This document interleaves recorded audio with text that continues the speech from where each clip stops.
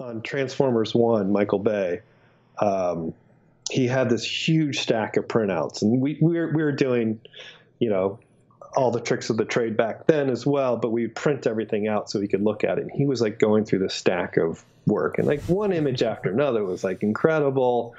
Um, and he and he was like, "No, no, no, f, f, this doesn't work, fail, no, this isn't my movie." and I was like, "Oh, my work's coming up. I'm gonna get so slammed." And he and this image came up that I had done. I only bring up the story because, like, it's kind of the shitty, really quick sketch that I had done. I had taken this kind of the old space shuttle bay and I put a Megatron in there, but it was like really fast and sketchy and like I had no time to do it and I was panicked and I just had to get it out there. and he looked at it and he goes, "This is my movie right here." And it was like it was like the worst drawing I had done on the movie and everybody was kind of shocked and I was like, "Really? That one?" Please welcome James Clyne, design supervisor at Lucasfilm. James is an absolute legend in film industry this is a special one for me because James is one of those few artists that inspired me to become a digital artist myself. Hope you're gonna enjoy this episode as much as I did. Let's go.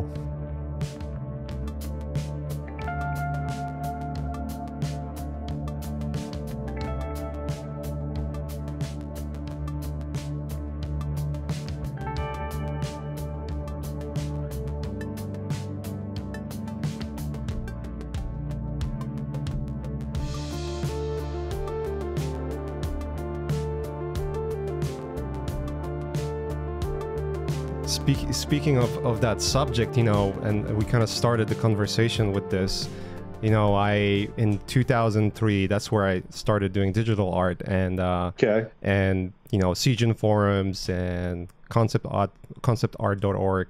Those are the places I discovered, and obviously, you know, speed speed painting um, thread. Yeah. I mean, Craig that's all pretty early days. Yeah. three. Like, I don't, I think I was like 99 or 2000 before I picked up a laptop and started painting on it. So, yeah, that's still early days. Yeah. But I remember that started this rabbit hole of like, who else is there? And then I saw you, and then I saw Dylan Cole, and then I saw Ryan Church. It's like, oh, my mind is blown, you know, blown away. And uh, Yeah, Yeah, it it uh, it seemed to happen like it seemed to happen overnight, and and the, earliest I can remember is kind of uh, is seeing uh, Craig's stuff. Um, I think I was actually on. Might have predated Minority Report. I might have just started on Minority Report, but a lot of guys in the office were still doing like traditional, and I mean like Stone Age traditional, like vellum marker with like gouache highlights and stuff. Like that's just how it was done. And then we would like photocopy it.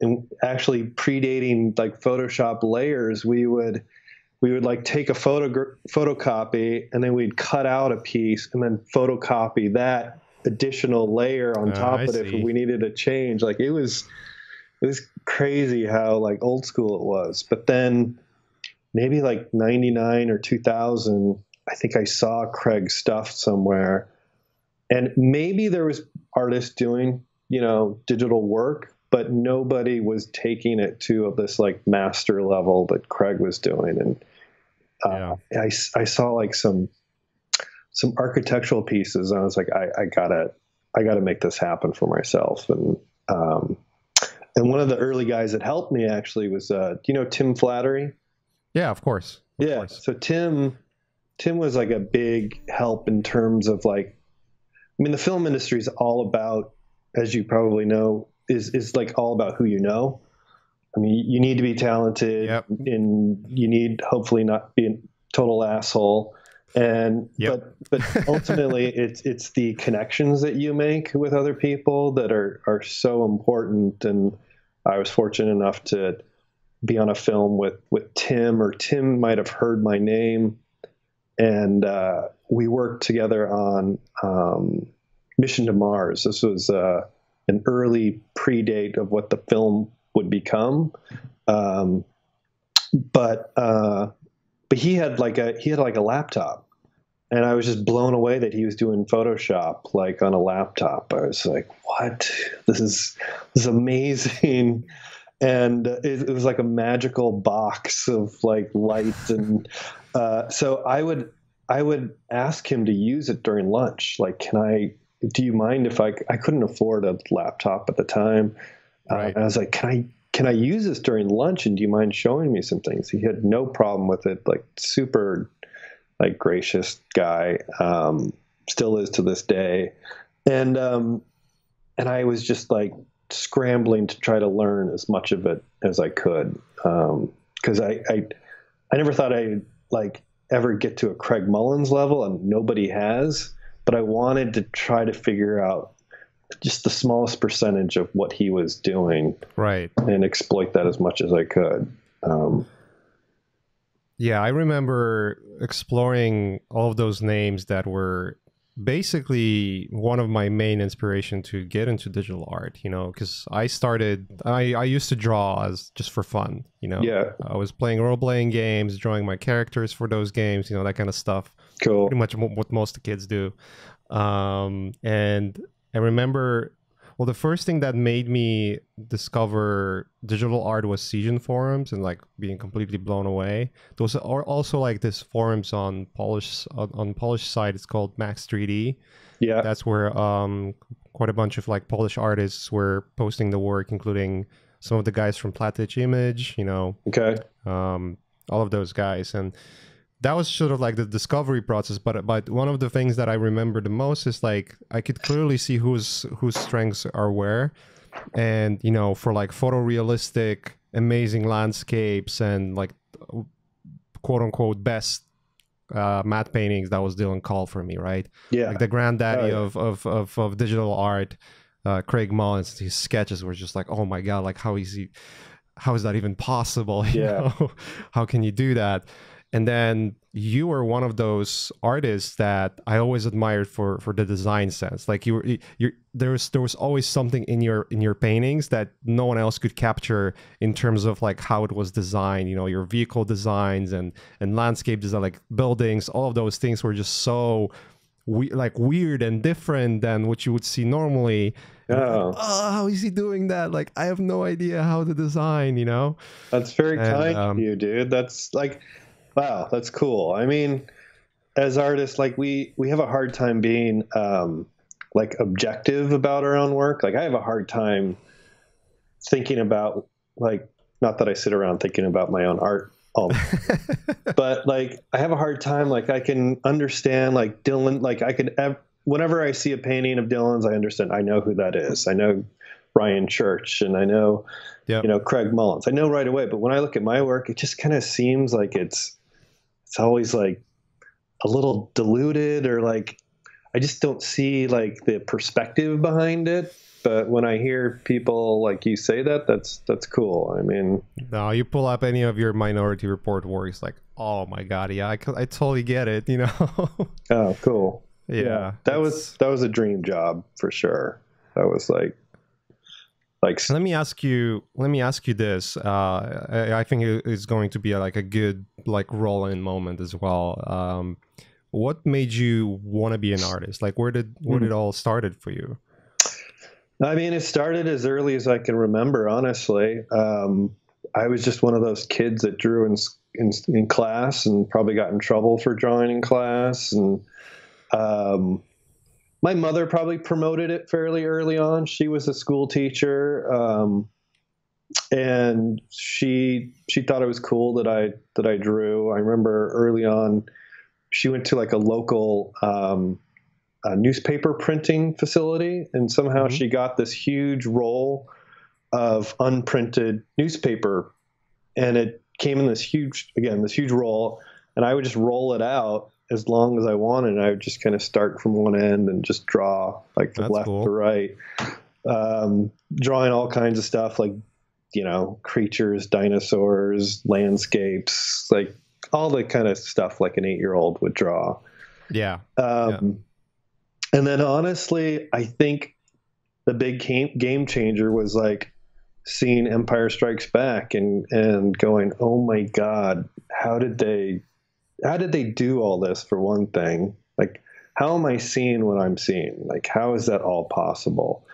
And then, like, where does that start? And I, and I, I think I still have the book in my office somewhere, but it's the, um, the Empire Strikes Back sketchbook. Like they did these sketchbooks, and it was all mm-hmm. Joe Johnston and uh, Nilo, uh, and and all their work is mostly Joe Johnston's just sketches and for like a kid to be able to see that it started with a sketch which is like the only the only kind of thing i knew was like just sketching um, was kind of a was kind of mind-blowing. That oh my god like the AT-AT walker started with a sketch? Is that is that really truly how it started?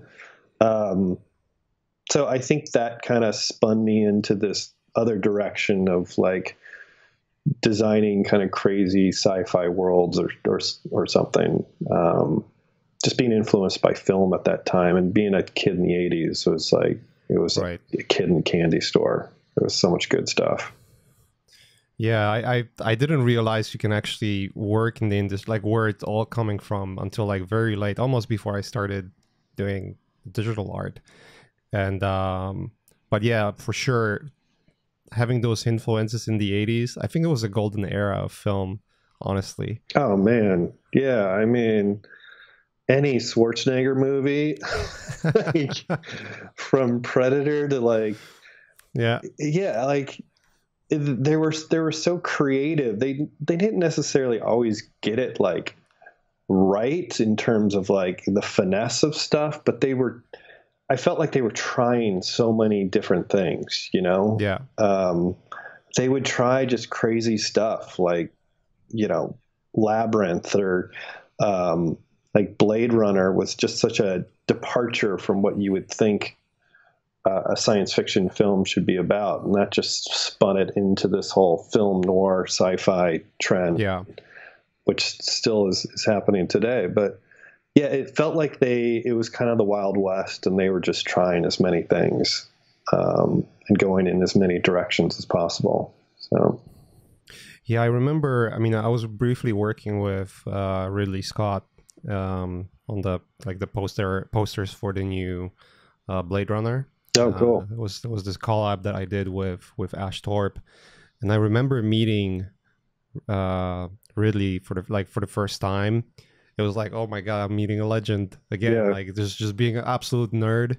uh, you know, it's like the crazy crazy stuff. But it was funny because we had like this long conversation before we even went into talking about what we are gonna do. Like literally, I, right. I sat there just like like a kid like in front of like you know his grandpa yeah listening to war stories you know um yeah just just going on and on about like some cool cool stories of you know how the how he how he was making movies you know stories about his brother all that stuff. And but i remember this one thing he said um, which relates to what we're talking about. Um, it was when he was offered to do alien uh, the first one. Mm-hmm.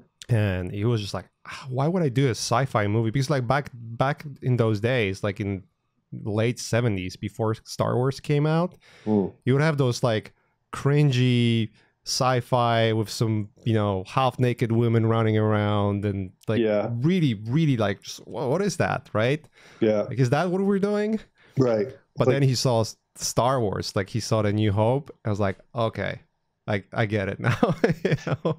Yeah, I mean, it changed. I'm sure everybody's perception, every like film director's perception of what what a movie can be. Uh, yeah.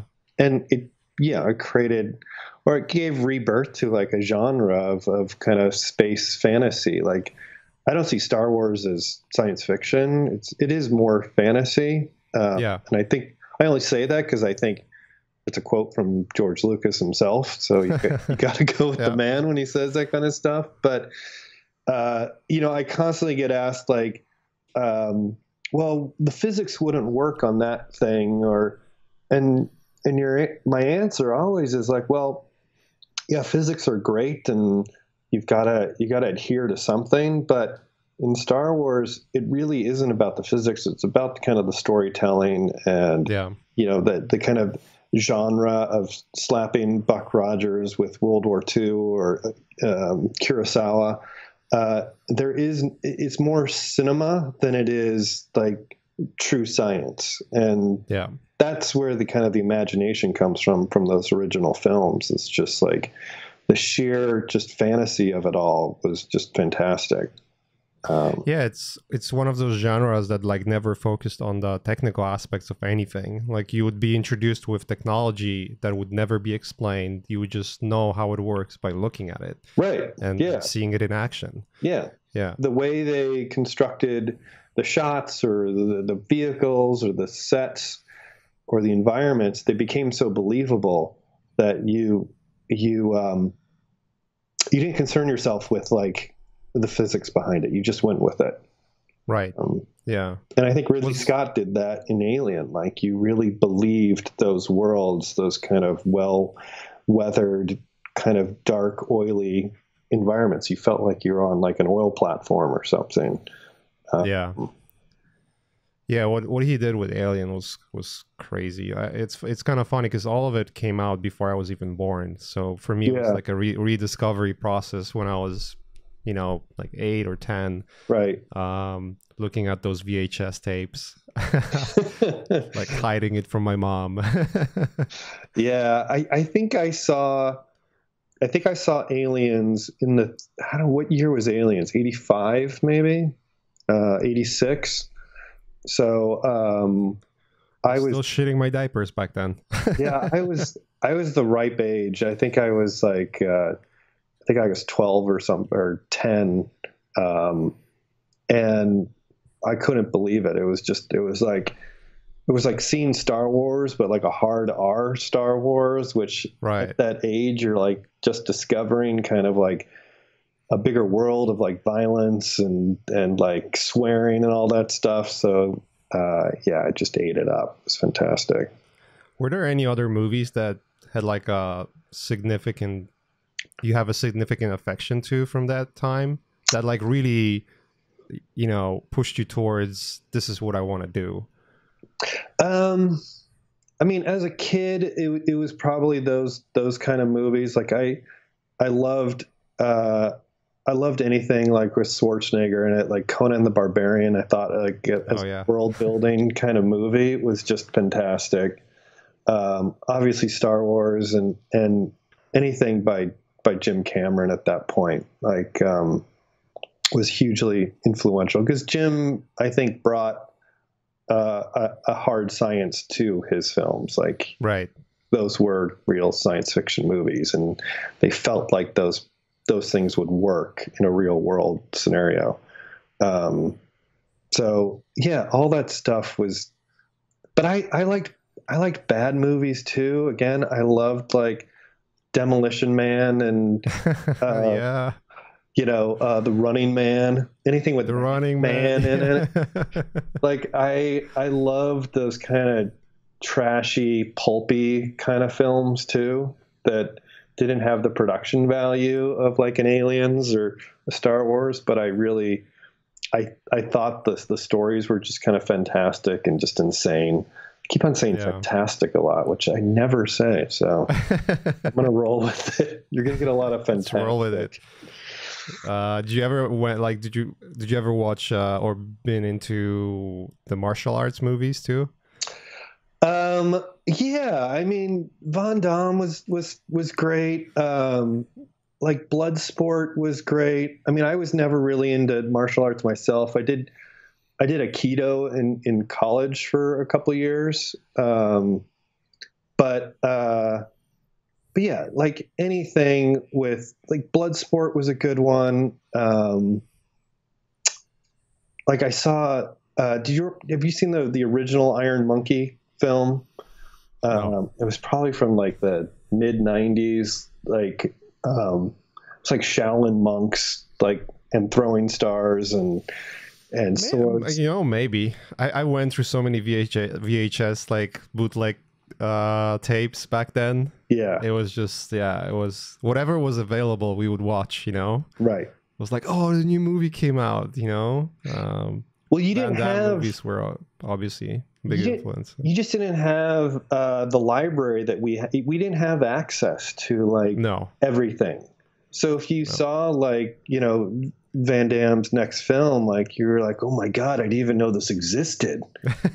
like, and it was out for like ten years, and you're like, this is this is amazing. This is like, it felt like you were the first one to come across it. But uh, there was no like a database you could go to like, hey, let No. me see what other Van Damme movies are out there. no, Like, you would oh, just like you would just fall upon it, and then like if if you liked it, then you just watched it over and over and over again. yeah, yeah. Um, yeah. Because it's not like they would list it in the library how many movies Van Damme did, you know? no, you could you could not you could not do any search whatsoever. Um, there's no Dewey Decimal System for Van Damme, that's for sure. But yeah. yeah, we had the we didn't have Blockbuster when I was a kid. They would, I think, I think video stores started. Um, at least when I was growing up in Eugene, Oregon, they were part of like grocery stores. Like they would have like a little annex, like a little, I don't know, it like our local store, like the old liquor section, like the hard liquor section became the video section for some reason. So we were able to rent videos from our local grocery store. Um, and you know, there was probably like I don't know, hundred titles or 150 titles, and you could just kind of look over the the covers. Yeah. So like I have like this image of like just different um, you know VHS film film covers. Like what I had no idea what it was, but if the if it kind of grabbed me, then I would want to watch it. So it was like all based on just that image on the cover. Um, right. I think that's why I got into like, you know, Nightmare on Elm Street movies or something, because you would just be like, what is this this dude with this like scarred face and these Yeah. like, you know, these these spiky uh, knives on the end of a glove? Like, you didn't know anything about Freddy Krueger, only from like that that image, and and um, there was some more, I guess. To that end, there was just more mystery behind it, you know Yeah. um, you didn't know anything about it until you actually sat down and and watched it. But um, I sometimes wonder if that's the um, that's the reason why we used to have those you know film superstars back then because like as we are just saying there was no library of like the list of things you could watch and and have like a better access to. Like trailers i don't think trailers i mean you will only see them in the in the movie theaters right? Mm, if if anything, and that's just by accident. And then pretty much else, anything else would be just looking at the cover. And if you would see a recognizable figure like Van Damme or Schwarzenegger or Stallone, you know, it's like, oh my god, you know, yeah, he has a new movie. Let's watch it. right. Like you would, uh, my my father would get the like the Sunday paper, uh, and in the paper they had like the calendar section, and they would have all the upcoming films. It was just black and white, you know, printed newsprint. Uh, and you would see like Return of the Jedi on there, and you'd be like, "Holy shit! There's another Star Wars movie!" Like that was your access to it was like uh just a one pager in the back of a newspaper. Like that. That's kind of that idea now just seems so like simple and naive and like um, impossible in, in kind of today where you get you get like information coming at you from everywhere. But uh, Yeah, it's abundance of information uh, right now. It's just so difficult to follow, and because like there's so much stuff out there as well, you can compare one one movie to another Yeah. almost instantly. You don't. It's not like you watch a movie and then time passes by. You watch like over and over because that's the only movie you have to, that that's new. yeah, And then yeah, yeah, I, I definitely try to. I try to get my kids to do that too. I try to get them to like uh, watch the same movie over and over again, like I did, because you really start to understand like the dialogue and how a movie is built and shot and right. progresses from the first to second to third act and i try to get them to watch like the same thing over and over again doesn't seem to be working but but you know, on the flip side, they get access to like just about everything. Like that, Yeah. that's kind of mind blowing too. It's like, um, and then I get to like I get the benefit of introducing new stuff to them. Like we watched Alien and Aliens uh, a couple months ago, and it was like it was like mind blowing to watch it through the eyes of somebody that had no idea where the movies were going. Right. You know, like Yeah. watching watching the chest burster scene in Alien with my kids. Oh man. They had no idea what was coming. They kind of felt like something bad was going to happen. I think like my my ten year old was like, "Yeah, this doesn't feel right. Something something bad is going to happen." And you're like, "Just wait, it's coming." Blood bursting out of someone's chest.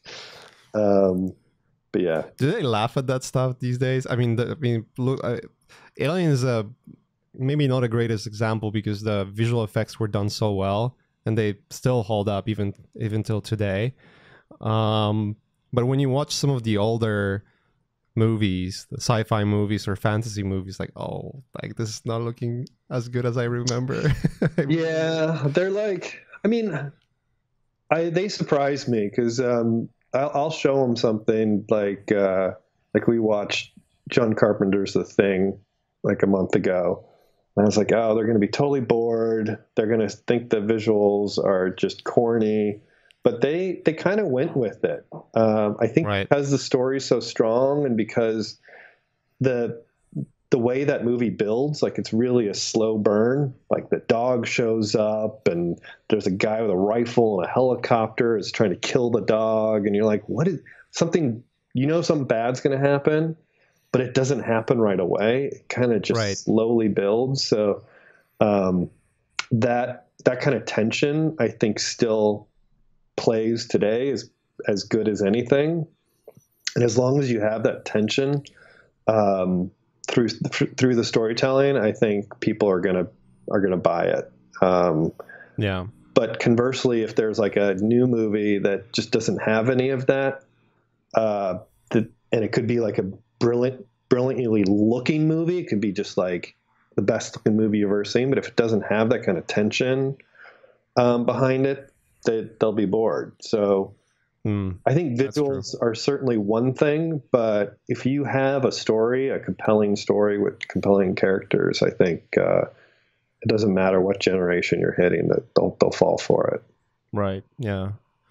Um, that's true. Yeah, there's some of the movies that come out, and you know, some of the directors take the choices of having like a slower build up, or maybe just like explaining stories through the different means. And if they don't have that, you know, catching moment that catches your attention right away, like it's very difficult for most of the people just like to sit through and enjoy the rest of it. Yeah, I mean, th- there's a lot of um, there's a lot of pressure on filmmakers, just from my point of view, um, that they have to have, you know, so many things in their little 90 minute, 130 minute film. Like they, Yeah. There's so much pressure to have A, B, C, and D in their films that sometimes they're not allowed to just kind of. I, I feel like they're not allowed to just stick with kind of one direction. They get notes and notes and notes that it become it compiles and becomes maybe a little more. Um, there's just a little too much there than than Mhm. need, needs to be. Uh, Right. Yeah. That makes sense. Um. Yeah. Go ahead. Sorry. No, I, I was going to just say John Carpenter again. Like his films, I mean, again, I, I love kind of the camp, pulpy nature of John Carpenter and uh, David Cronenberg. Um, but they do have like one kind of s- single idea, and then they build it on that one idea. Yeah. It doesn't doesn't kind of flower into like thirty different ideas. Yeah, it's very. I, I I remember. I mean, when you watch the movies from from the eighties and nineties, they they don't overcomplicate things for no reason. Like the Yeah. story is based on usually one principal idea that carries the whole the whole film through. Right. And it's very easy to follow. I Yeah. feel. Um, how is that? I mean, I know it influenced you to what kind of drawings you would do, but was there any moment where you were like, okay, I can actually make a living doing that? This is Mm. sort of like the direction I want to go with. Because like everyone's so different, right? Yeah, yeah. Which makes it great that everybody comes from different backgrounds. Um, I, uh, like every high school kid, I didn't know what the hell I was going to do with my life. I got pressure from my parents, like you got to think about getting a legitimate job and going to a legitimate be a doctor college. Yeah, and I was like, there's no fucking way I'm going to be able to be a doctor. Like I don't, I don't have the grades for it. I don't have the yeah. ambition for it. Um, but then I didn't know what to do. Like, what creative field would I go into? Like, would I go into like graphic design and work for like an ad agency? Like, I didn't really understand until there was a representative from uh, the Art Center College of Design in Pasadena, and they came to my art class that I was taking in high school, and it was like a slideshow, and and the stuff I saw was like it it just changed my whole perspective of like right. the world. Like there were people designing like cars, products, there was illustrators, there was like all these artists excuse me that were coming from all these different you know from all over the world, which was really cool to see that it wasn't just like the small microcosm of Americans. There were just there were Europeans, there were Asians, all kind of smashed together, doing like super creative stuff, and uh, and I just wanted to be a part of it. I didn't know what it was, but um, myself and another uh, fellow student, we took a it was called like a Saturday High class. So it was high school kids. I was able to take like a high, uh, Saturday course. It was like kind of a crash course to see if this was something you'd be interested in. And at the same time, you could kind of build your portfolio if, if that was right. you want to do. So, um, uh, yeah, the, after the first class, it was like an industrial design introduction class. I was like, oh shit, this is what I want to do. And nice. fortunately, I was able to sell it to my old man because it looked legitimate. it was like dudes in like you know, working for GM, wearing a tie, looking over like the schematics of like a car design. Like that was something he could understand. Right. It um, wasn't like a creature design for a movie with some, you know. Yeah, or I wasn't like gonna, looking right. I wasn't gonna like grow dreadlocks and just smoke dope and surf all day and yeah. I don't know shape surfboards or something. Like that was not the creative thing that uh, he was hoping for his son. So. Um, I went off and kind of did some undergraduate um, at a junior college, and then at uh, I wanted like the real college life, so I went to UCSB in Santa Barbara for a year, and I and I just got restless after a while. I was like, I just need to build my portfolio and I need to focus, and I was able mm-hmm. to get into Art Center.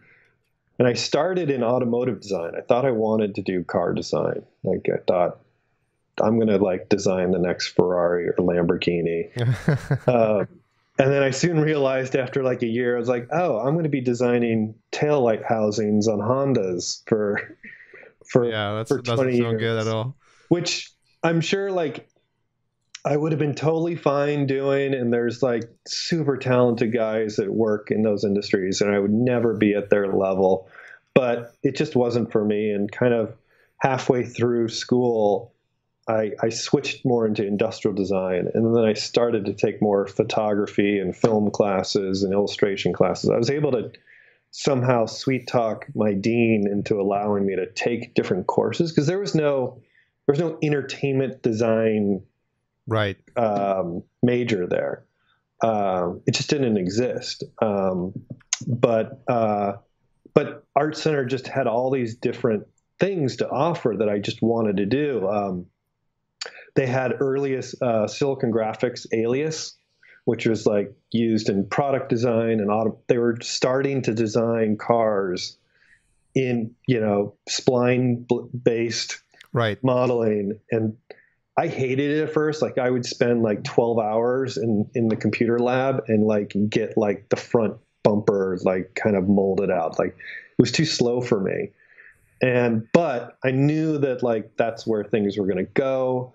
I knew that there was something there. So Art Center allowed me to kind of be able to tackle a few of those different disciplines. Um, and then by the time I graduated, I kind of had this more customized portfolio for um, for doing more film or game based stuff.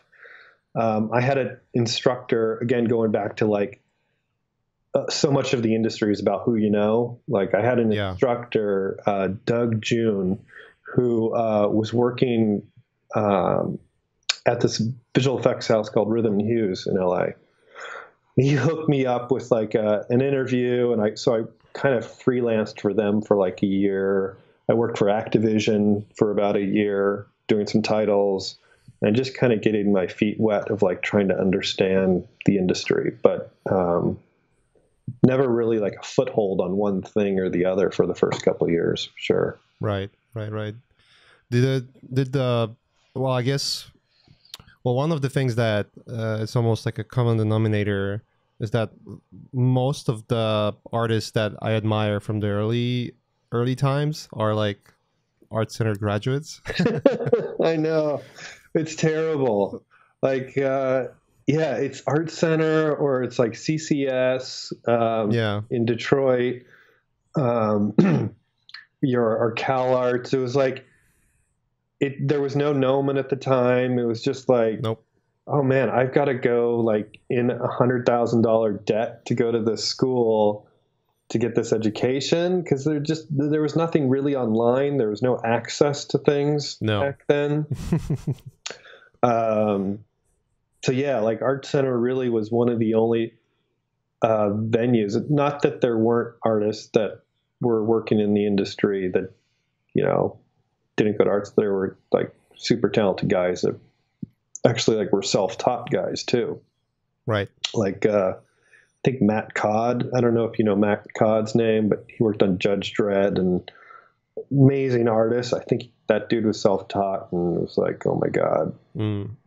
um, why did I just waste a hundred thousand dollars on education? That's always a question. How different what it, what it was it uh, back then when you you were graduate? uh, Did you graduate from from uh, art center? Did you go all the way through? I or- did, yeah, I did. I graduated with a like a bachelor's of science in industrial design. I think um, Gotcha. I wanted the. I just wanted the piece of paper that said I was Mm. probably one to please my parents or something, but also like I. I saw guys that kind of like wouldn't graduate; they would leave like a year before and like start working in the industry. And I'm like, well, I could start making money now if I just left. But for me personally, I think it meant a lot to have some kind of degree, even though it meant Right. nothing to an employer afterwards. they, they do not care at all. Um, So did you get offers like right right like through through the school? Um, yeah, I, I interviewed with like DreamWorks. They were just starting up at the time. Um, Disney. I didn't want to do animation. I wanted to do. I just wanted to do live action. I got. Um, mhm. I, I'm I'm gonna leave them nameless because they they were another instructor of mine that snuck me into the Batman. Uh, Batman Forever, maybe it was one of the terrible Batman movies. Like George Clooney, Batman and with, Robin? like yeah, like I think it was George Clooney with like didn't he have like nipples on his bat suit or something? Like it was it was crazy. But what what happened was they snuck me onto the Warner Brothers lot. Like I was not supposed to be in the art department. And they're like, Right. this is what the art department is. And like there was all these like uh, these amazing artists, Jacques Rey, uh, Harald Belker were designing like vehicle, like the Batmobile. Like I just saw the sketches and they were designing all these crazy sets for Gotham. And I was like, oh man, this is, this is what I want to do. And Nice. um, I think even the director, Joel Schumacher, walked in and he's like, he gave me like a quick glance. I remember like, who the fuck are you? and I, I felt like it's definitely my time to sneak out. But like just that that quick like introduction to seeing like artists around tables on a studio lot, like it it was just so uh, appealing and and enticing. Right.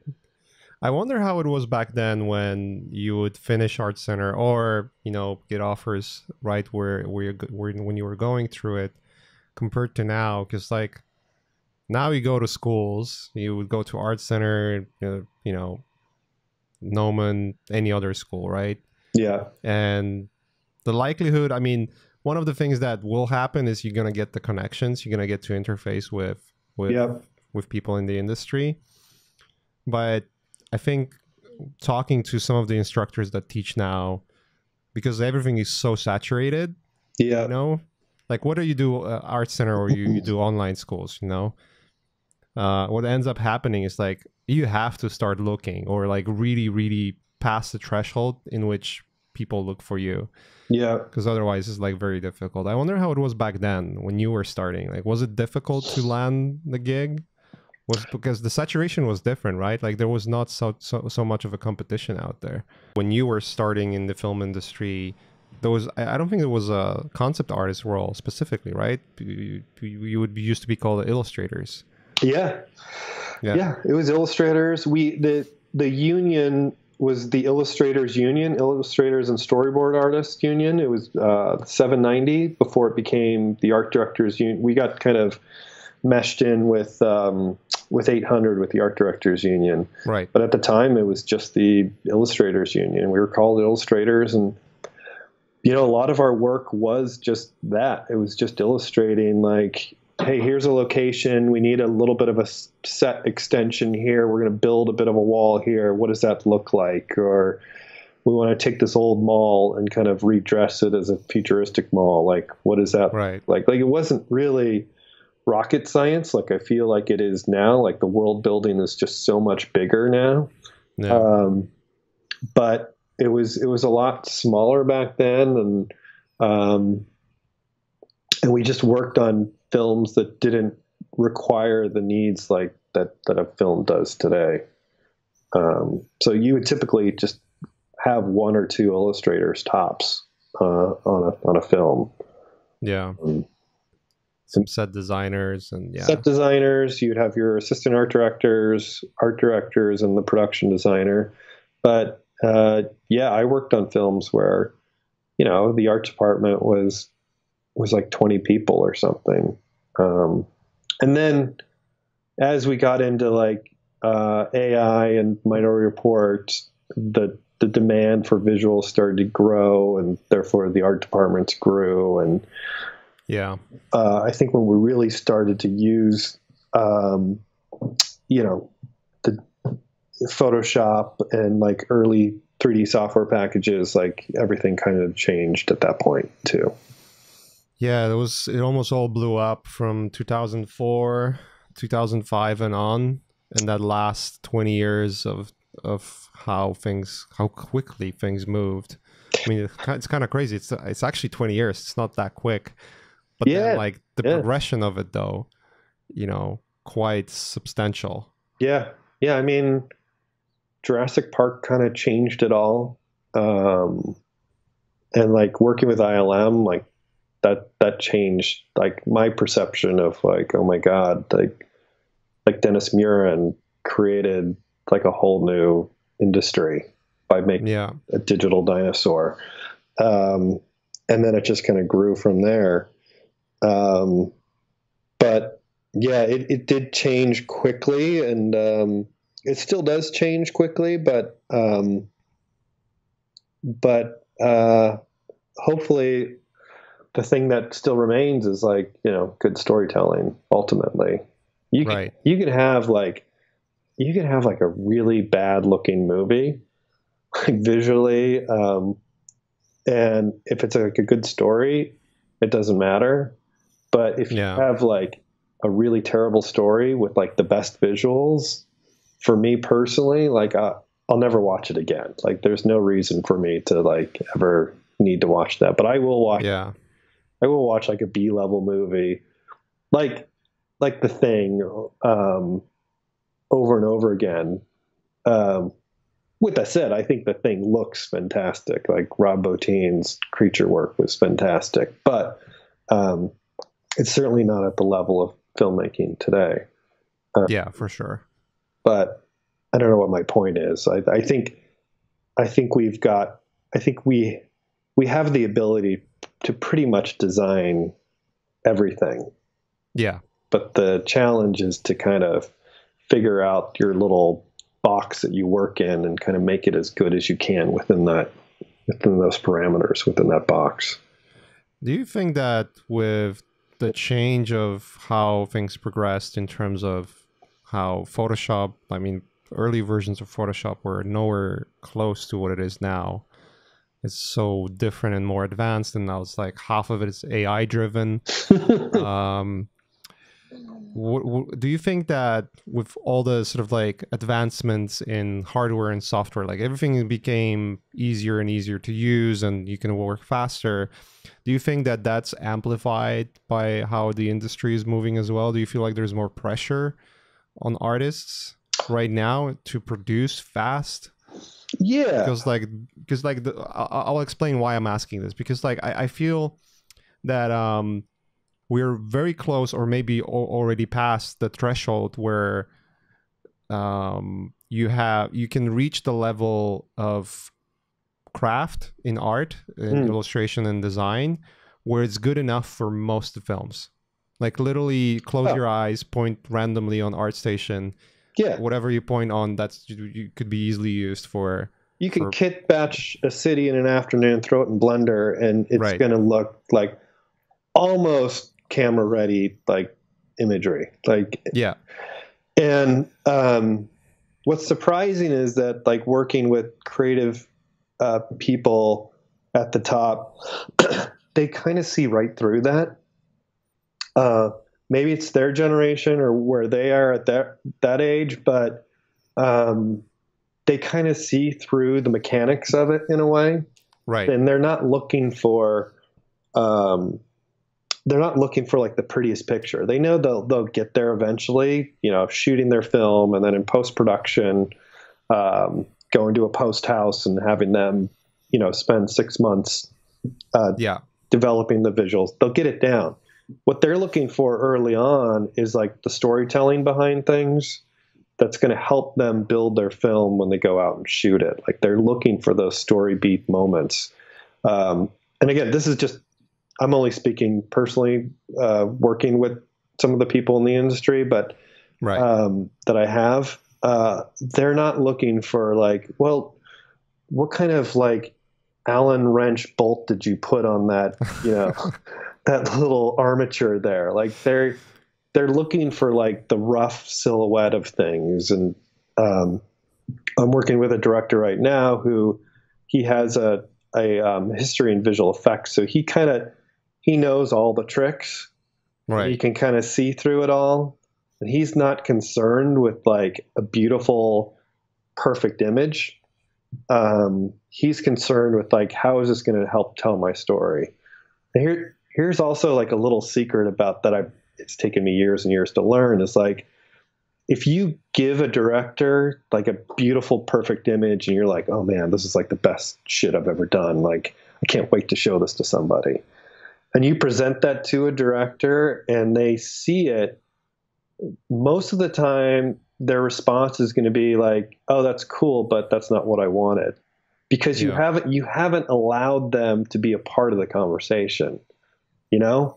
And like making movies, it's about collaboration. It's not like you just being in a dark room by yourself and like coming up with cool imagery. It's about listening to filmmakers, getting their vision on paper or, or on a screen and helping support their vision. Like that's what it's all about. It could be the crappiest little sketch, like um, like a story uh, I don't mind throwing his name out, but on Transformers One, Michael Bay, um, he had this huge stack of printouts, and we we were, we were doing, you know, all the tricks of the trade back then as well, but we'd print everything out so he could look at it. And he was like going through the stack of work, and like one image after another was like incredible.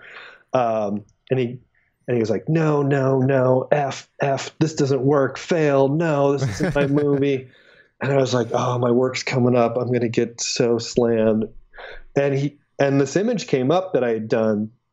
I only bring up the story because, like, it's kind of the shitty, really quick sketch they had done. I had taken this kind of the old space shuttle bay and I put a Megatron in there, but it was like really fast and sketchy and like I had no time to do it and I was panicked and I just had to get it out there. and he looked at it and he goes, this is my fucking movie right here. And it was like it was like the worst drawing I had done on the movie, and everybody was kind of shocked and I was like, really that one? And I only say this story also because like the next image was, and I was feeling like really confident about myself, but the next image was mine as well. And he was like, but this one, this one gets an F. like, just like flipped on me like overnight. But but he, I, I think I think Michael Bay gets he gets um, a lot of flack for the kind of movies he does and the kind of person he is. But I've worked with him over the years, and I really learned to appreciate him because he he does have a really strong point of view, and he he does he does respect the artist uh, and what they bring to his films. He has a Right. understanding of that. Um, He's a master of action and camera in terms of like having some of like bringing the action into the camera yeah. so it feels like action. He's absolutely the best. Well, and a lot of people have kind of like, you know, it's weird. Like a lot of directors will will uh, will criticize him, but then they'll they'll constantly try to copy his work. Like it's really weird. Like, um, so I like some of his movies. yeah, I, I did I- like the first Transformers. I did like the the Rock. You know, they're they're great. They're fun. yeah, great movies. Yeah, and Even The Island, right? The Island was great. Yeah, and and the way he moves the camera, he developed so many ways of like bringing films into like this this newer, faster genre. And yeah, it, not everybody's going to like it, and and but he he brought kind of like a, a a pace and a speed to films that hadn't been done before. Yeah, that's correct. That's true. Um, yeah, it's it, to me it's fascinating because like uh, you know I I've joined the industry, uh, the film industry quite late. Um, I think 2014 was when I uh, joined the union, or maybe 15. Yeah, Uh, my first u- real union show was Captain America: yeah, uh, Civil War okay, with uh, Owen Paterson as a Right. production production designer. Amazing guy. I love Yeah. working with him. he did Matrix. Yeah, yeah, yeah. he did Matrix. He designed Matrix. Um, Amazing. and I remember even like, but but even in those six years, the industry changed dramatically. Because, and that's another question that I have. Because like I remember on those early shows, it was. You know how it is in film, right? Like ninety percent of the films just are never never made. They just get canceled all the time. yeah, Um, they're and- shelved and yeah, yeah, sometimes they're reborn, but yeah, most of the time. Yeah, and and you, you hear those stories with like they start the art department, everyone's like super excited, and then the next day like, oh, we're shutting down. I I I was fortunate to never have that happen to me, uh, and I remember like early on being in the film industry, like I was maybe that's just me having a fortune to work on the movies that were longer. So like Captain America, that was my first union movie. That was like six months. Um, then I was like four months with with uh, Darren Gilford on the the the sort of like the follow the sequel for Tron. yeah, Uh, they made the first one I think was released in 2010, right? They were supposed to do a sequel. right. That was shut down. Um, but I was going on the break anyway, so it's like okay, like four months after, it's it's all right. And then from that, I went to Ghost in the Shell, straight straight up, you know, from Right. that to Ghost in the Shell for like a year and a half Wow. And then from there i think it was another show that was like five months. But but after those after that streak of, of shows where i was like months and months on end most of them were like a week a two weeks three weeks and then you know oh we're done you know we Yeah. got what we wanted. I wonder if you if you've noticed the trend of that like that the shows are slow like slowly becoming like smaller and smaller in terms of like how much they need from from illustrators. Yeah, I mean, um, it- the one of the greatest assets you can have, like in the industry, is like just being flexible. Like knowing Right. that you may work on a show for two weeks, you may work on a show for a year and a half, and you're it's out of your power, and you're yeah you're not going to know. You're just not going to know when that's going to happen. Like, um, it's harder for me to kind of understand where things are these days because I joined ILM Lucasfilm in uh, 2013. Uh, right that's correct So so it's harder for me to kind of know. I've been more kind of insulated into the Star Wars universe since then. Um, so we we try to lean on artists that are already either with ILM or we kind of reach out once in a while when we're build, building our teams to you know to people all over the world. Um, a lot a lot of artists in London as well. Um, and you know I've been part of projects that that hadn't gone very long and kind of and then there are projects that you know like Force Awakens I was on for almost two and a half years and Solo I was on for two years and um, Damn. yeah they they're long projects but they're also projects that I've been on for for just a few weeks um, Yeah.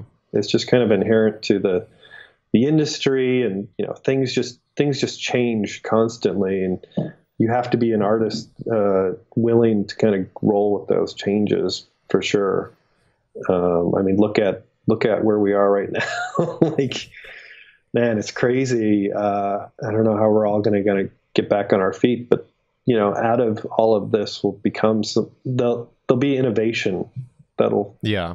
I guarantee you, the indus- the industry will innovate in a way that it wouldn't have had this like terrible pandemic happen. But um, hopefully, we can all hang in there and, and be around for uh, to see those changes. But yeah, they're, the, Yeah. the industry is constantly changing. That's true. That's true. Did it? Was it a giant? Well, giant is uh, a strong word. Was it a big change uh, for you to go from being in the art department and working on like several shows and just being that that flexible artist, like trying to latch on a good project and you work on it, it it gets done or shuts down, you move on something else. Uh, how different is that for you since you you joined ILM? Yeah, I mean it's it's it, it's I haven't changed industries. I've stayed within the industry, uh, Yeah. even though I'm more kind of post production um, rather than the pre production of it all beforehand. Even though with Star Wars, um, I've been fortunate enough to be brought on really early on those projects as well.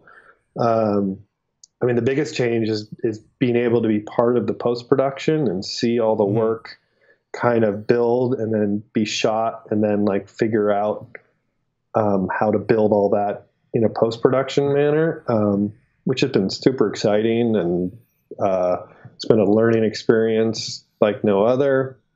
Um, and what's interesting is to see films now. Um, some of that is that those barriers are kind of breaking down of like what is pre-production, what's post-production. Like a lot of that post-production is being pulled forward earlier on, and vice versa. A lot of the pre-production development stuff can happen like much later. Like in Rise of Skywalker, we were developing worlds that hadn't really been fully fleshed out in post-production. So things are kind of they kind of have been moving around and you know the end product hopefully is the same but the way we we make these films have, have changed a little bit and kind of being part of ILM and Lucasfilm I've, I've seen that change um, since 2013 for sure Do you guys use that technology on Rise of the Skywalker, the Unreal Engine? Uh, if, if I think it's called uh, live sets with like the projection. you're talking about state yeah the stagecraft what they're doing on Mandalorian Yeah, yeah, yeah, yeah. we um, we we didn't use that specific technology, but we've used since like uh, I think Solo was the first one where we we did projections um, for the Millennium Falcon uh, cockpit stuff. So Gotcha. we didn't. Was it u- like a back projection or was it like screens that actually were I like LED wa- screens? Um, on I think they were. I think we were using front projection or something. I don't think we were using LED screens on Solo. I could be wrong, but we weren't using the media in frame. So like now, like Mandalorian, they'll they'll have in frame media behind, and that that'll be Yeah. the shot. So we early on we'd use it for just reflections Gotcha. excuse me, and, and lighting. So if you're going through like a hyperspace tunnel, you get all the like, you know, flashing blue light and stuff on the actors and in the Yeah. cockpit. But that's all it was kind of being used for at the time. But yeah, it's progressed um, a, a, lot further along. Um, Yeah, I'm asking. I'm asking about this because when you when you said like how barriers between VFX and pre-production are shifting, I guess Mandalorian was the first example of that, and th- this is something I've noticed that is happening in the in the film industry industry right now. I think some of the shows I have been on recently, um, and some of the shows I hear are being in development. They start to use that technology where all of a sudden you have a situation where you have um, pre-production you have your art department team working on you know making sure that everything is ready for principal photography but then also you have vfx guys coming in and making sure that everything is actually ready from the vfx perspective for principal photography. Yeah yeah. I mean it, it, it they've always had a vfx supervisor that has started early on and you know entrenched themselves with the director and and right. the shoot. Um, but a lot of the development uh, is being of of those VFX is being brought up earlier earlier with like Unreal and real time, yeah. uh, you know, motion capture. Like all that stuff is is happening earlier earlier in the production. And Jim Cameron was doing it on Avatar, where you know we were we were not only designing practical sets, but par- in parallel to that, you know, uh, Pandora, the, the the world itself, the flora and fauna and all that stuff was being developed as well. So it wasn't like right. we started one thing and and then got into another. Like all of that kind of kick started at the same time. Um, so and I that's not going to be for every film, obviously, but I do think for the bigger visual developed films that that's going to be the case um, certainly going forward. And and we're going to see an evolution of that as well. I mean maybe there won't be um, such a like a separate kind of department for the the shoot and then for the post production like there's just going to be kind of a melding of all of that. Um, right. and i think there's going to be a demand for artists that kind of can understand the whole pipeline on that level. Um, and I started on the first J.J. Uh, Abrams Star Trek movie and the second one. I, I was fortunate enough to kind of get to know ILM a little bit, even though I wasn't working for ILM. Mm-hmm. So I would kind of help uh, take some of these assets that we had designed and kind of see them a little further through.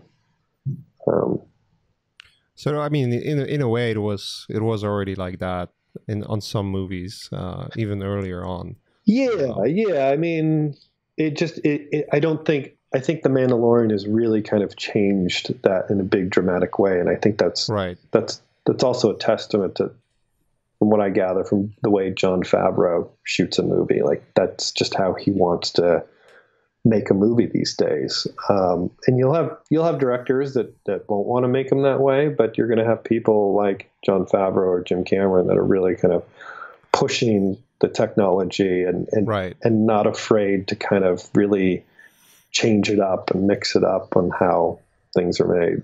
Just which is super exciting. Yeah, for sure. It is it is like it is making the film industry shift into um into an area that no no one have predicted or no one was like looking into that that's going to happen for sure. Um, but also it makes it unpredictable in a, in a way as well. Mm. meaning like hmm what i wonder what's gonna what's going to happen next. Like how is that gonna affect the pipelines and yeah. you know the, the design process and whatnot? Um and same with the with the pandemic right? Like the fact that the studios are shut down and location shooting is shut down. I think they're reopening Atlanta right now, mm. meaning that there's some some development starting to happen in Atlanta and probably in other locations as well. So in in a way, it's gonna get back to sort of like quote unquote normal sometime. Yeah, probably this year, maybe maybe next year. Who knows? Um, but it is, uh, yeah. I I do like what you said about the fact that the innovation is going to happen. I wonder if you have any clue or inkling or your own ideas of like, do you predict what is what is working in the film industry is going to be like mm. in upcoming years? Yeah, I mean it's it's hard to say yet. I think we have a lot of time these days, like sitting around thinking about stuff like that. I mean, I don't know if the idea of these huge, we'll still have big movies, we'll still have big Marvel films and big Star Wars films and stuff like that, but I don't know if they'll be on the production level that that they used to be, where you'd have 150 crew members on right. stage. You know, I don't know if building these huge sets for weeks and then shooting two or three weeks on the sets and then striking those sets and doing these like big kind of lo- local productions at at that studio level. Um, I do think they're going to films are going to be more nimble and they're going to figure out ways to make them quicker and maybe Right. do really fast location shoots and come back and do shorter compressed principal photography and do more development in post possibly and figure out ways to make your movie a little more virtual. I mean, I don't think we're there again where we're just going to put an actor again in front of green screen and build our movie. I don't think that's the way to go. I think it's Yeah. I think it's a number of I think the more uh, interesting ways, new ways of approaching things, and you add those to your single project, the better. That if you were just to do the whole like, well, we'll just put actors in front of green screen, we'll make the world after. Like, I don't know if that's the way to go, but but I do think there's going to be smaller crews, and what does that mean to have a smaller crew? Right. It may be stretched over multiple locations at the same time. you may have, you know, multiple points across the world, but uh, these big tentpole movies where you're on one uh, studio lot for for six months, I don't know if that's the future of it all anymore. Yeah. I don't see it happening either. I mean, who knows? It's we're knows? we're all guessing right now. We're all guessing. Yeah, I mean, uh, I I I hope to God we get through all this because I I know people want to like get back to work and want to like, you know, people in the film industry we like working with other creatives. We like working with other artists. Yeah. and you know, I know personally, I just want to get back and you know have FaceTime with directors and designers and artists again. Um, and um, and we'll get there. It'll just, you know, hopefully it'll happen Sooner or later. sooner or yeah. later. I guess more data comes out. People will see whether it's a good time or not good time. You know, who knows? Like the the perception of what it was versus what it is. It's so dramatically different over like just a month. Yeah. So imagine how different it's going to be a month from now when we're going to have even more data to back up. Like, okay, maybe maybe we underreacted, maybe maybe we overreacted, maybe we reacted the right way, but but Yeah. went too far. It's, it's- yeah, we'll figure it out for sure. Yeah. Um, but it's fascinating because even even regardless of whether it's the pandemic specifically affecting the film industry or not, I think it kind of like uh, it was a good wake up call for the film. Well, not not necessarily good wake up call, but like a wake up call for film industry. Like, all right, this whole pipeline we have, this whole process that we're going with, can be disrupted so easily that basically shuts down everything. Like we have to figure out different ways in terms of like how we conduct business. I think a lot of businesses also realize like, oh, we don't need ten thousand square feet office in middle of San Francisco to operate our company where Yeah. everyone's working like much better through Zoom, Yeah. you know, or through Skype or whatever. Yeah. And um No, I Yeah, agree. Yeah. I mean, you do see, like with any industry, I'm sure you do see a certain amount of like waste. Like, do we need X amount of people and X amount of like office space, as you say? Like, do we need all of this to build a film? And um, I don't, I don't think it's necessary. Um, I think I think we can do it in smaller teams and be more kind of like ninja about things. Go in there and get it done and get out and um, do it with like really high powered creatives, but make it happen a lot faster. yeah, Um, yeah. I was always a proponent work from home. Yeah, I've been working from home vast majority of my film career. Yeah, Um, I, I think that Spider Man um, is the one that I was commuting to. right. Um, but but yeah, it's for, to me it was like I feel just way more comfortable being at home. I can start my day when I want to start my day.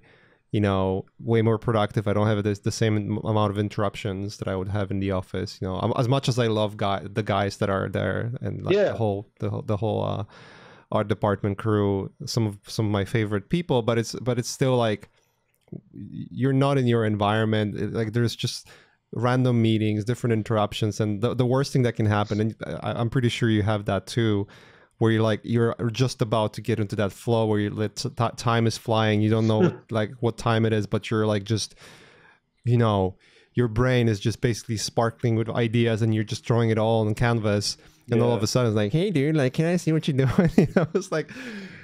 Guy, come on! Eat it, punk.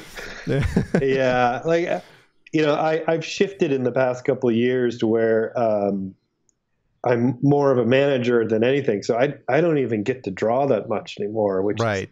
is kind of it's kind of good and bad. Like I'm in meetings when we're in like full production. I'm just in meetings all day, and uh, and you know, honestly, I there's a certain part of it that I really do like. It, it there is like the collaboration of being in a meeting and really kind of figuring out things, or being in a viewing station and looking at shots, and like I, I really enjoy all that part of it. Um, but I do also like there'll be like I'll get like 20 minutes or 30 minutes by myself in my office, and I'll I'll scramble to get something out, and Right. and then I'll get like halfway through it, and I'll be like be pulled into something else, and like yeah, it's really hard to concentrate. So it's been nice to be at home and kind of be able to kind of be in my own office with the door closed and Yeah. um, and to like really get back into it. But um, past couple of years, it's really just been kind of in the meeting mode and just being on the phone or on email or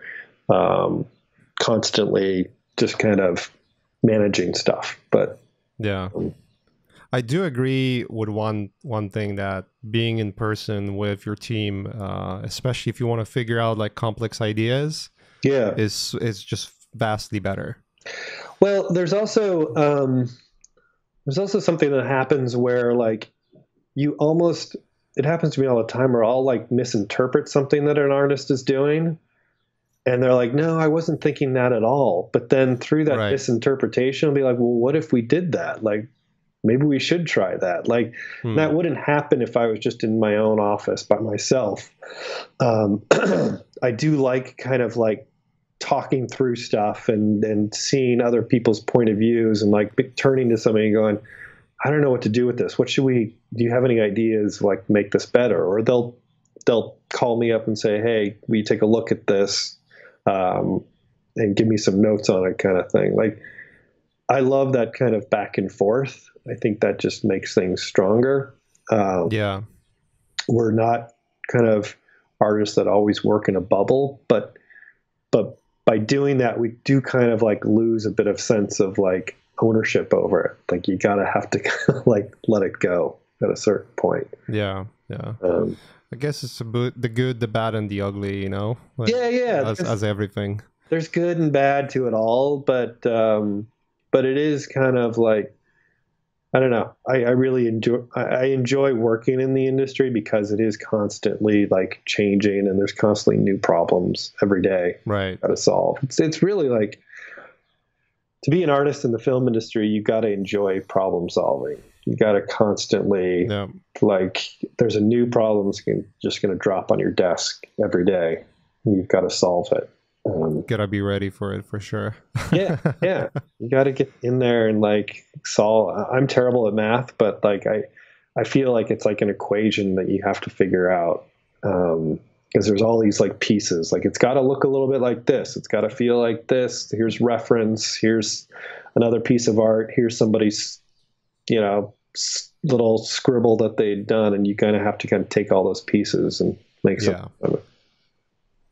How was the um, how was the difference? Uh, like, what's the difference for you now when you're more in the managerial role? Like, you're more into the uh, art director position than than you used to be before, right? Like when you were not at ILM, you you you would just like me be mostly illustrator, Yeah. working with production designers. Now, kind of roles are kind of flipping for you, right? Yeah, um, they are. Um, I mean, I've I've been doing it a really long time, and I think I, yeah. I think I was looking for uh, still staying in the industry, but kind of doing a different role, um, and um, being kind of more of an art director has brought you know also like new challenges and uh, new ways of looking at things, and you're not just kind of you know with you and your machine just pumping out artwork but I do miss like just pumping out artwork. Some, uh, I I will kind of like you know there'll be times where like if we're in early development, I'll be able to kind of just do art, but then as it progresses, I kind of move into um, scribbling on onto, onto other people's art and telling them to move things left. Right. And, um, Can you just move this thing away? scratch that out, move that over, make that bigger, make that smaller split the difference. Yeah. Um, a lot of splitting the difference. A lot of like, it's not quite that much. It's not not that little. Somewhere in the right. middle. Right. Uh, right. Right. But um, yeah, I mean, it, it's I I really like it. I think um, I do miss like like I feel like the moment I moved into more of an art director position, I started to kind of lose the attachment to everything. Like like just seeing what's been done on Octane and Blender and like I don't I don't even know those programs. I want to kind of jump into them because I can see what people are doing with them, but I just right. don't I don't have the time. Like my time is not being able to kind of, you know, like I still work in uh, the Foundry's Modo. I work on Photoshop, but I use those because I know them and I can do it fast. I can do it kind of just messy and quick yeah to get my ideas down um, if i could kind of have it like mind melded into my head immediately like a new program i'd be all for it but like the, maybe soon did you watch the joe rogan and elon musk talking about the neuralink uh, were they? That's yeah. I mean, that's, pretty much what it is, right? yeah, but see, when that happens, though, like, what happens to competition? Like, if we all know everything, like, you remove the the idea of competition. Like, then it's all genetics. Then it's all genetics, right? I mean, if you think about it, it's like just the capacity of your genetics will determine whether yeah, you're better or not. To me, it seems like you're almost it's removing, sad, but you're removing any of the the creativity component. Like you're almost remove, you're pulling it down into like ones yeah. and zeros. Like it becomes binary. Like it's like somebody will just be sitting in a dark room with like a like a huge mainframe computer and being like just putting in chunks of data and like you know that's that will become your visuals like yeah the the way the reason why like alien looks the way it does is because not it's because of uh, Ridley Scott or Aliens because of Jim Cameron or you know Steven Spielberg doing um, Close Encounters. Like the way, the reason why they look and feel like those movies is because of those people, and they're so vastly different in their ways of thinking. They're on such right. different levels. Like if we were to kind of like even out that by by giving everybody the same amount of creativity or information. I don't think that's what it would be. It would be more of um, you know, it's it's sort of like right now we do have an extension so almost like a cybernetic extension of ourselves which which are our phones right? I mean yeah. the amount of information the calculation you have on your phone your brain is just not capable of doing any of that. Sure. And the idea i guess behind the neuralink was be, would be that you would have that access instantly without having a phone with you meaning right. you can access it your brain access that information without the the calculation process of you picking up a phone, looking at it, and then letting your brain think about what what it's seeing, sure. versus that that all that information being fed directly to your to your brain cells or you know neurons. Yeah, basically. but it, it's kind of going back to what we were saying with like the amount of access we have to visuals just with like just googling any image versus having to actually research and find those images. There was this great uh, bookstore in Santa Monica called Hennessey and Ingalls. I don't know if you ever went there before. I've seen it. Yeah, it was amazing. Like amazing ph- photography books. Um, I don't think it exists anymore. I don't think it does, but it was like the resource for artists, designers, art directors to go to like research? But you had to spend some serious time digging around and finding kind of new and interesting things. And if we had access to all of that at once, um, it, I feel like like all the colors of the rainbow will be like reduced to just gray. They'll just be like like part of the reason why we're all artists is not because of like our abilities. I feel like it's our disabilities. It's like right. Like our you know, we we're just like we're missing a component that makes another component even stronger. Um, and I think if we lost that, then we would lose like the creative momentum that we all have. I don't know. Yeah, that's that's perhaps what would happen. I mean, I I don't I don't think that Neuralink is gonna be on that level anytime soon. I think the first sort of like use cases that they want to look into is like helping uh, paraplegic paraplegic people, yeah, like bypassing injuries of your of your brain, you right. know, that kind of stuff. Yeah, um, which is fascinating, but yeah, when, when I was listening to that podcast, I was like, oh, that's Ghost in the Shell in a nutshell, you know, basically, basically speaking. Right. That's where we're all going. I mean, we always joke that there's going to be some program where you'll be able to type in, you know, like anything. Like you can type in, you know, uh, moray eel, type in like um, the Hawaiian Islands, and type in like all these like subsets, and then the AI will just take all those ideas and smash them together, and then give you a randomized hybrid of all those ideas of like smashing a moray eel with the Hawaiian Islands. Like, right. That's coming. It's already kind of here on some levels. Yeah. Um, yeah. But, but I don't know. Maybe I'm just an old man, but I don't know how that reinforces telling a story. Like stories are just very human.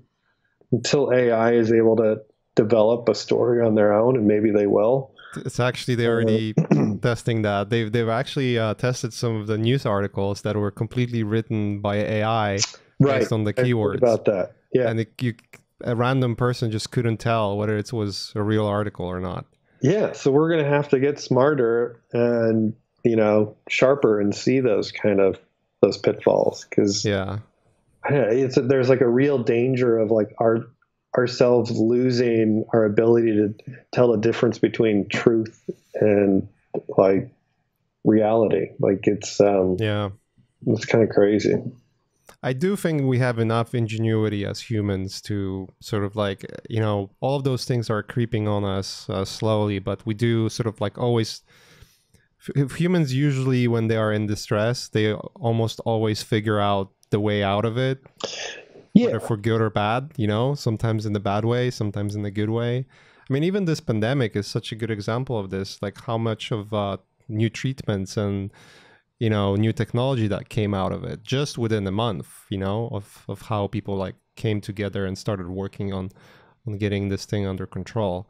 Right. Um, and uh, as you said, like the amount of innovation that come, gonna come out of it. I was actually looking at 2008, the the the economy crash. Mm-hmm. That was that was the time where Uber, Lyft, Postmates, Instacart, all of those delivery services, like on-demand services, came out from that. Yeah, from that time.